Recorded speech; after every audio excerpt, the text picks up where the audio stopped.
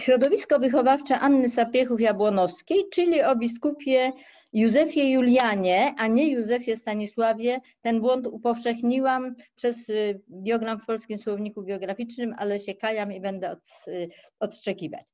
Biskup Józef Julian Sapiecha, stryj Anny Sapiechów-Jabłonowskiej, o którego poglądach zamierzam tu mówić, pozostawił po sobie rękopiśmienny diariusz złożony z trzech części polskiej, obejmującej czas od jego narodzin w roku 1708 do roku 1726, łacińskiej od roku 1727 do początku czerwca 1738 oraz polskiej obejmującej czas od czerwca 38 do marca 49, kiedy się urywa. Poniższe uwagi odnoszą się do części ostatniej polskiej. Łacińska jest bowiem tak trudnym autografem autora, kończy się na roku 36, więc Anna Jabłonowska miała 8 lat, że aby ją zrozumieć, muszę przepisywać odpowiedni fragment. Polską część dla lat 38-49 sporządził na szczęście sekretarz e, Sapiechy i tylko z rzadka pojawiają się w niej korekty jego ręką. Część wstępną pomijam, bo ma ona z punktu widzenia naszego tematu wartość znikomą, to wspomnienia dziecka o własnej młodości. Y, wspomnienia człowieka o własnej młodości, której w dużej mierze przecież nie pamięta. Temat o tyle wiąże się z naszą konferencją, że zakładam, iż poglądy Józefa Juliana Sapiechy odzwierciedlają sposób widzenia świata przez środowisko, z którego się wywodziła także Anna Jabłonowska. Potwierdza to zresztą osobowość młodszego brata naszego memoarysty i księżnej Jabłonowskiej, z czasem podkanclerzego litewskiego Michała Antoniego Sapiechy, Znam go dość dobrze z korespondencji z litewskim przywódcą familii, kanclerzem Michałem Czartoryskim. Wróćmy do Józefa Juliana. Należał on do czerejskiej linii rodu, tak jak i nasza bohaterka, tej, która wydała przywódców Litwy w okresie największego znaczenia sapiechów, czyli w ostatniej ćwierci XVII wieku. Wprawdzie Olkiennicka bitwa z 1700 roku położyła kres potędze przodków memuarysty, Sapiechowie pozostawali jednak w XVIII wieku jednym z najznaczniejszych rodów litewskich, zarówno ze względu na potęgę majątkową, jak piastowane urzędy. W okresie, który obejmuje polska część diariusza, kanclerzem wielkim litewskim był Jan Fryderyk Sapiecha, zaś nasz bohater wiele znaczył, chyba był drugą z rzędu pod względem znaczenia na Litwie postacią z rodu Sapiechów, Wiele znaczył jako młody i energiczny biskup sufragan wileński przy dość starym biskupie Zienkowiczu. Inni sapiechowie trzymali rozliczne starostwa, byli wojewodami, kasztelanami i dygnitarzami litewskimi. W osobie autora diariusza mamy więc niewątpliwie do czynienia z członkiem litewskiej elity. A dodajmy, że był to człowiek wykształcony w kolegiach jezuickich w Braniewie i Gdańsku, gromadzący książki, korespondent braci Załuskich, pan doktor y, Kurkowski jeden z tych listów nam pokazywał, e, zaprzyjaźniony w dodatku z najwybitniejszym może obok Stanisława Konarskiego intelektualistą duchownym epoki saskiej, księdzem Piotrem Hyacyntem Śliwickim. Omawiana część diarusza pisana jest retrospektywnie z opóźnieniem około dwuletnim w stosunku do wydarzeń, które opisuje. Rozpoczyna ją nagła, niespodziewana śmierć starszego brata bohatera, Kazimierza Sapiechy, generała artylerii litewskiej ojca Anny Jabłonowskiej. W jej wyniku ksiądz sufragan zaczął zabiegać o opiekę nad jego potomstwem. Najstarszym była Anna z tych dzieci, co wiązało się także z dysponowaniem przypadającym na to potomstwo majątkiem. I oto toczyły się ciężkie walki zawsze. Walka o uzyskanie prawa opieki była tym bardziej ostra, że bratowa wdowa bardzo rychło wydała się po raz drugi za mąż i drugiego małżonka, słyszeliśmy o nim, to Józef Aleksander Jabłonowski, uważany przez Sapiechów za utracjusza, uczyniła współwłaścicielem swych dóbr kosztem dzieci, jak uważał ksiądz biskup. Toczona w Trybunale Litewskim walka o opiekę była bojem na śmierć i życie. Ksiądz biskup wygrał to, na czym mu najbardziej zależało opiekę nad starszym bratankiem Aleksandrem Michałem Sapiechą. I choć już wcześniejsze strony diariusza wskazywały na, na, to, iż pomnażanie rodowego majątku stanowiło życiowy leitmotiv pamiętnikarza, odtąd zyskał on dla ideowe uzasadnienie. Ojcowskie starania o uzyskanie przez bratanka jak największych profitów. Po to, by w Trybunale, gdzie rozstrzygały się interesujące Sapiechów kwestie majątkowe, uzyskać jak najszersze wpływy, sufragan wileński nie, nie wahał się zrywać sejmików, z których groziła elekcja nieprzychylnych mu sędziów tego sądu apelacyjnego, złożonego z wybranych na sejmikach deputatów. Diariuszu pisał otwarcie o tym zrywaniu sejmików, a jako koadjutor wileński miał kluczowy wpływ na trzy sejmiki w tym mieście odbywane, wileński oraz dwa egzulanckie, czyli gromadzące szlachtę wywodzącą się z przejętych przez Rosję w XVII wieku województwa smoleńskiego i powiatu starodubowskiego. Lekko licząc, zabiegi o majątki i finanse zajmują około, 25, y, około 75% tekstu diariusza. O tym, jak namiętność gromadzenia dóbr wygórowała w hierarchii autora wspomnień nad innymi wartościami, niech zaświadczy jeden przykład jego własnymi słowami. Cytuję podany. Y, widząc, że słabość zdrowia kasztelana Trockiego Sapiechy, to był stryjeczny brat autora, nie pozwalała mu długiego życia, reprezentowałem kasztelanowej w Wilnie przytomnej, jak wielka będzie szkoda domowi naszemu przez wyprowadzenie w różne familie substancji sapieżyńskiej, jeżeli zajdzie śmierć kasztelana Trockiego bez żadnej dyspozycji in favorem domu sapieżyńskiego. Koniec cytatu. Tu trzeba wyjaśnić, że małżonka chorego Sapiechy była za nim sekundoboto i miała dzieci z pierwszego małżeństwa za Ogińskim, nieuprawnione rzecz jasna do spadkobrania po sapierze. Donacje pozwoliłyby i jej, i im coś z majątku ojczyma uszknąć. Ale o wiele więcej obiecywał sobie ksiądz biskup zaoszczędzić na tych, których chciał od ustawowego spadkobrania odsunąć. Chodziło o siostrę chorego, za mężą za Nowosielskim i za obce domy, w które by przed majątek sapieżyński, to byli przede wszystkim nowosielscy. Cytuję dalej. Wzruszona tedy tymi racjami małżonka i, stratem, i strachem przerażona, przy tym spodziewając się cokolwiek dla siebie wykierować, dla siebie, czyli dla Ogińskich, czyli była po prostu przekupiona, e, dla siebie wykierować i na tym się przy wsparciu domu naszego utrzymać, nakłoniła się do tego projektu. Ułożyliśmy plantę donacji, którą po tym nieboszczyk ledwo nie we wszystkim akceptował, mało co odmieniwszy. Koniec cytatu. Planta donacji polegała więc na zadysponowaniu majątkiem przez umierającego tak, by nie dopuścić ustawowych spadkobierców do realizacji ich praw. Największe pożytki z owej planty odnieśli brat i starszy bratanek księdza koadjutora, ten oddany w opiekę stryjowi młodszy brat Anny Aleksander Michał. Nie dziwi przy takich pryncypiach, że wpisanych przez księdza biskupa na początku roku 1742 instrukcjach na temat zasad, wedle jakich należy wychowywać wspomnianego bratanka, nad którym miał opiekę, są banały, podporządkowane zasadzie, by postępować z chłopcem łagodnie, to znaczy nie zrazić go do siebie, bo mógłby uciec do matki, która opiekę i zwłaszcza majątek się z nią wiążący chciała przejąć.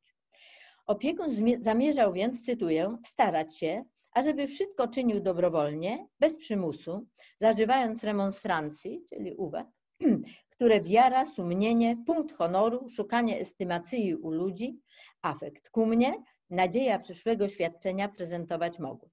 Postępować z nim politycznie, czyli tak zręcznie, jak z przyjacielem, ażebym onego pozyskał konfidencją, jak najczęściej z onym konwersować, a te same dyskursa obracać kształtnie na inspirowanie należytych sentymentów chrześcijaninowi i poczciwemu człowieku, człowiekowi i zacznie urodzonej osobie.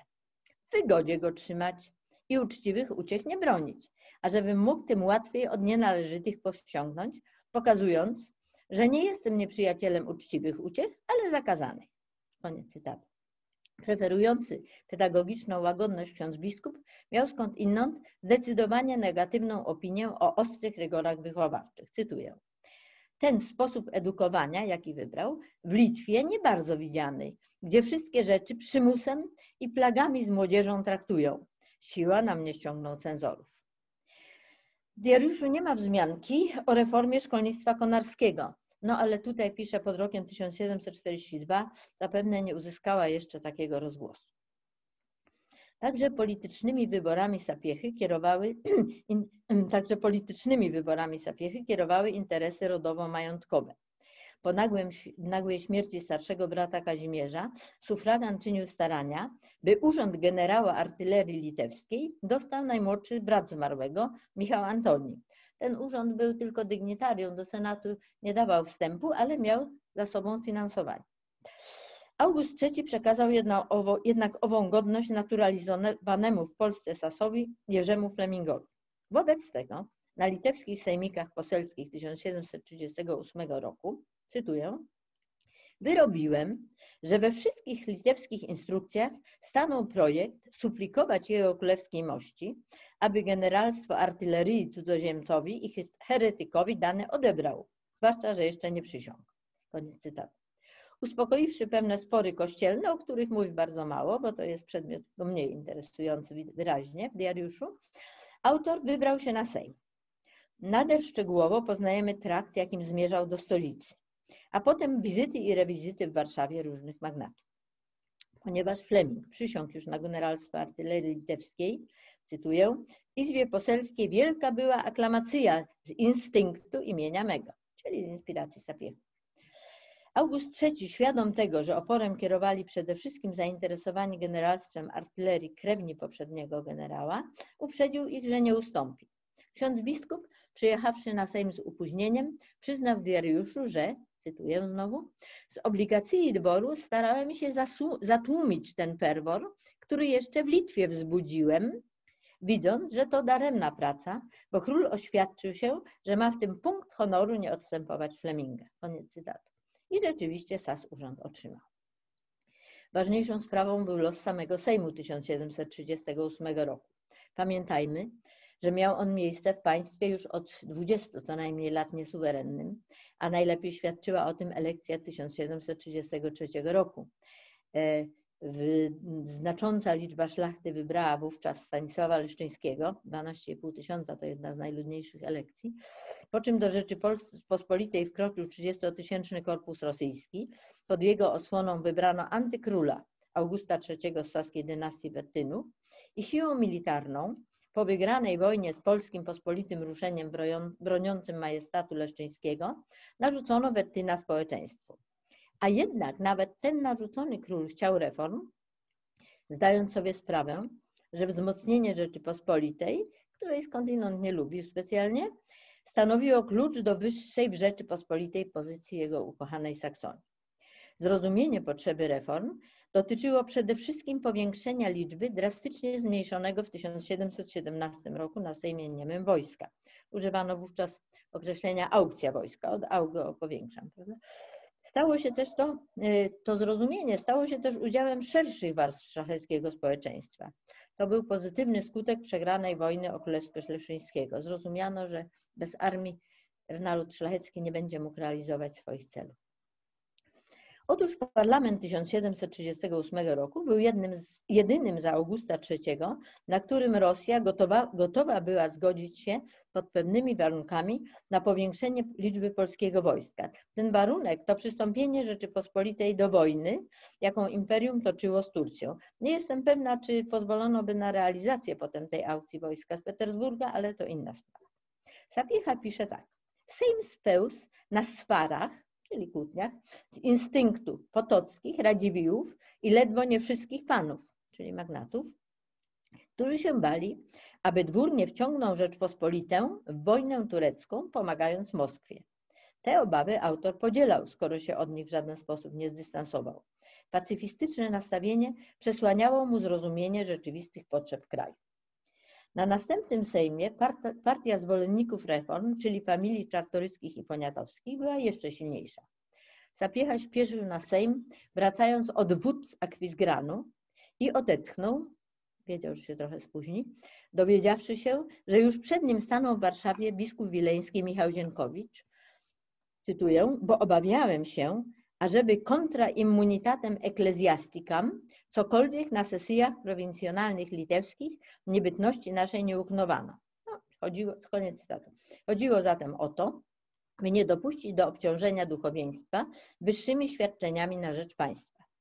Gdy zaś na jednej z sesji litewskich prowincjonalnych, mm, czy prowincjalnych raczej, został, cytuję, przymuszony do wyrażenia zdania mego do aukcji wojska i o innych materiach, ambiguo sensus ekwivocjami moje zdanie pokryłem, czyli mówiłem niejasno i niejednoznacznie, nie chcąc inwidii. Zdawał sobie zatem sprawę, że otwarty opór wobec aukcji wojska, której sam był przeciwny, taką inwidią wygroził. Co się tyczy losu Sejmu, znowu cytuję, medis novembris, Sejm bez skutku rozpełzł się, częścią z emulacji Radziwiłłów i Potockich, którym przykro było, że Czartoryscy i Poniatowski we wszystkie sekretne rady wchodzili, chcąc Sejm utrzymać i wykierowali, że wszyscy deputaci do Konstytucji, Senatu i Izby Poselskiej byli z ich partii. Lubo zaś tylko te domy Sejmowi szkodzili, jednak gdyby ci przestali, ledwo nie wszyscy, bene sentientes, czyli myślący właściwie, dobrze, między panami i posłami, których znaczna była liczba, toż by samo uczynili. Lubo wtedy byli kontenci, ażeby kto inszy wziął na siebie inwidię z niedoszłego Sejmu, a to z tej racji, no to już można nie czytać. Autor pominął w tym końcowym, końcowym komentarzu swą niechęć do aukcji wojska, nie ukrywał natomiast dezaprobaty dla starań dworu i familii o dojście Sejmu. Niewątpliwie należał do tych, których uznał za bene sentientes, sentientes czyli chcących zerwania Sejmu. W stosunku do Wielkiego Księstwa kilkakrotnie zaznaczał, że za pożądane uważał ekwilibrium między Radziwiłłami i Czartoryskimi, a więc taką równowagę sił, taką walkę dwustronnic przeciwstawnych między Radziwiłłami i Czartoryskimi, która słabszym, która pozwalałaby Radziwiłłom krzyżować reformatorskie zamysły czartoryskim, czartoryskich, zaś słabszym od obu głównych rywalizujących rodów sapiechom odgrywać rolę języczka uwagi. Ksiądz biskup zbliżał się do czartoryskich, gdy zaoszczała się walka o majątki z Radziwiłłami, sapiechowie z nimi prowadzili takie spory, jednał się z tymi ostatnimi, wyraźnie ideowo mu bliższymi, gdy spory majątkowe się uspokajały. Wniosek hetmana Jana Klemensa Branickiego z 1745 roku, cytuję, ażebym, złączywszy się z wojewodą wileńskim, Radziwiłem, hetmanem Michałem Rybeńką, zaczął otworzyście być przeciwnym domowy czartoryjskich, koniec cytatu, odrzucił, cytuję znowu, mając intencję obustronnie urażać, osobliwie z racji, ażebym mógł bez przeszkody interesa domu jak najlepiej kierować, osobliwie synowca czyli nie podpaść nikomu, bo to może zaszkodzić mu w sporach majątkowych. Na żadnej z kardiariuszach ksiądz sufragan nie dostrzegł, że czartoryscy walczyli o odrodzenie Rzeczypospolitej. Podczas najważniejszego Sejmu 1744 roku Sapiecha wywołał niezadowolenie Augusta III, podając mu w imieniu duchowieństwa, cytuję, memoriał francuski eksplikujący immunitatę stanu duchownego i że bez tego jest agrawowany znaczną na wojsko kontrybucją, no, czyli żeby duchowni nie musieli więcej płacić. Cytuję dalej. A że król życzył ardenter sukcesu Sejmu i dlatego miał invotis, aby biskupi złożyli kontrybucję na wojsko, nie w smak to, co mówiłem, było królowi. Koniec cytatu. Również zniszczenie kolejnego Sejmu z 1746 roku przyjął nasz autor z ulgą, bo, cytuję, chciał nas dwór wciągnąć w ligę z Moskwą przeciwko Prusakowi. To jest czas wojen Śląsk, o Śląsk. I mogliby byli nas w wojnę implikować. Jego ministrowie czartoryscy i czartoryscy do fakcji moskiewskiej przywiązani starali się o sukces Sejmu. No to jest dopiero inkryminowane poczynanie. Dobro publiczne polegało więc w przekonaniu Sapiechy na zerwaniu parlamentu, czyli pokrzyżowaniu planów dworu i familii, dążących do uaktywnienia Polski na arenie międzynarodowej. Sapiecha traktował to, traktował to jako działanie w interesie Rosji, a nie Polski, uznając pacyfizm za wartość nadrzędną. Dwa lata później, w 1748 roku, sytuacja księdza sufragana była trudniejsza, bo czartoryscy chcieli pomóc jego młodszemu bratu w nader korzystnym majątkowo urzędu, mm, orzenku z wdową po hetmanie wiśniowieckim. Chodziło o to, by sobie przywódców familii nie zrazić. Cytuję. Z tym wszystkim ułożyłem sobie plantę, podczas tych sejmików nic nie czynić takiego, co by mogło obrazić czartoryskich oraz znosić się per totum proter bonum publicum z wojewodą wileńskim Radziwiłem, przeciwnikiem reform. I onemu fortissimo pomagać, ponieważ byłem wyperswadowany, że utrzymywać będzie causam et religionis et libertatis, No oczywiście czartoryscy, chcąc uaktywnić Polskę na arenie międzynarodowej, grozili wolności. Cytuję dalej. Na tych wszystkich wileńskich sejmikach starałem się onego kredyt jak najbardziej extollere, Radziwiła, bo mi się zdało ekwilibrium potrzebne dla utrzymania wolności in casu jakichś moliminów dworskich, jakichś prób e, dworu i czartoryskich działania pozytywnego, rzekomo groźnego dla wolności. Podczas poufnej rozmowy podkanclerzy litewski Michał Czartoryski bezskutecznie namawiał biskupa, cytuję, ażebym starał się o sukces Sejmu, wywodząc bardzo, że nic nie upatruje, tylko bonum publicum, bo brat mój wyraził mu był dyfidencją moją. Koniec cytatu. Sapiecha przekazał relację z tego spotkania Radziwiłowi, a brata przyciąganego do czartoryskich perspektywami korzystnego orzenku, cytuję, żywymi terminami upraszałem, ażeby starał się per trahere ad recto sensus dom czartoryskich, albo nie mieszał się do rzeczy szkodliwych publiko, jeśli by to tentare chcieli. Koniec cytatu. Rozterka księdza sufragana była ogromna, cytuję. Życzyłem sobie pojednać wojewody wileńskiego z familią czartoryskich i nawet kontribuere do dojścia Sejmu, czego chcieli czartoryscy, ale ułożywszy pierwej projekta, ażeby nic szkodliwego publiko i stanowi duchownemu na tym Sejmie nie stanęło. W wypadku przeciwnym, to koniec cytatu, w wypadku przeciwnym, znowu cytuję, byłem rezolutus łączyć się z tymi, którzy Sejmu nie chcieli. Tu się otwarcie przyznaje do intencji zerwania Sejmu.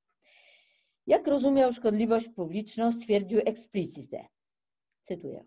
Nim przyjechałem, ułożono projekt komisji w Litwie na wynalezienie sposobów aukcjonowania wojska previa lustracjone ad referendum przyszłemu Sejmowi, czyli za uprzednim, uprzednią lustracją z badaniem rzeczywistych dochodów. Domówiłem się, mm, przepraszam, od tej ekscypowano, aby od tej ekscypowano dobra ziemskiej, zostawując anonimitatem, wyłączono z lustracji dobra ziemskie, ale nie powiedziano jednoznacznie, czy to same ziemie szlacheckie, czy razem i duchowne są ekscypowane.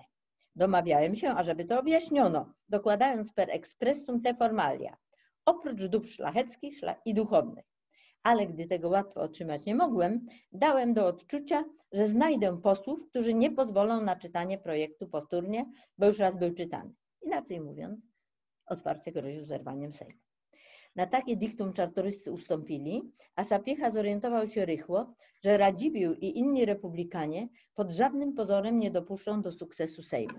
To też wycofał się z pierwszej linii walki przeciw niemu równocześnie definitywnie podpisując z Czartoryskimi kontrakt małżeński brata. Z ulgą przyjął zerwanie parlamentu. Cytuję. Spełz sine fructu przez staranie Radziwiła, domu Potockich i całej fakcji republikańskiej, najbardziej z dyfidencji do dworu i do, i do czartoryjskich, która tym bardziej wzmocniła się, że promowali lustrację w Litwie staroc, a w koronie nie tylko staroc, ale i dóbr duchownych i szlacheckich, na co już koronni zezwolili, przynajmniej ad apparentiam. Takowa inwestygacja, czyli badanie tej dochodowości, zdała się być wolnemu narodowi niebezpieczna, a aukcja wojska niepotrzebna.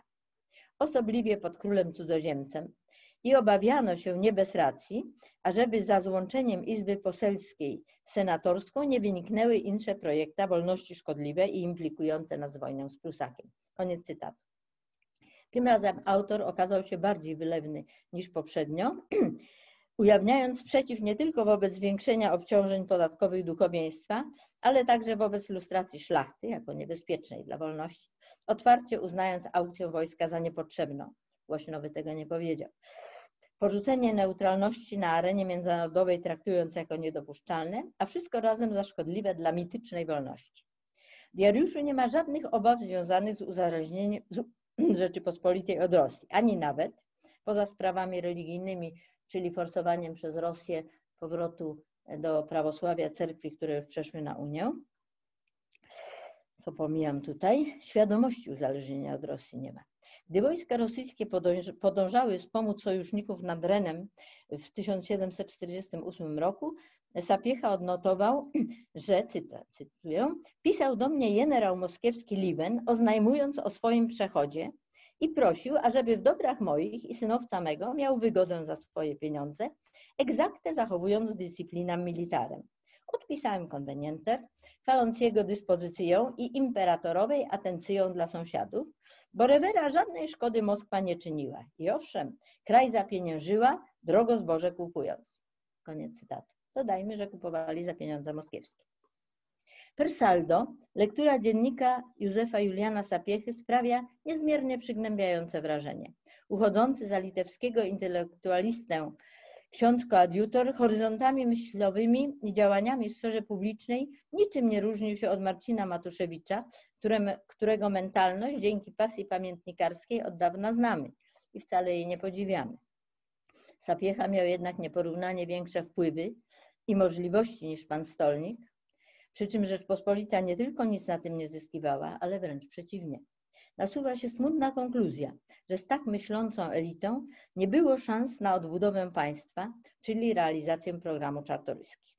A co do bratanka, znajdującego się pod prawną i wychowawczą opieką księdza biskupa, można stwierdzić, że w życiu pozostał wierny zasadom stryja. Należał do ludzi nader majętnych, serbilizm wobec rosyjskiej ambasady przyniósł mu najpierw godność hetmana, potem kanclerza, Umierał w roku 1793 jako marszałek litewskiej Konfederacji Targowickiej. Dziękuję bardzo.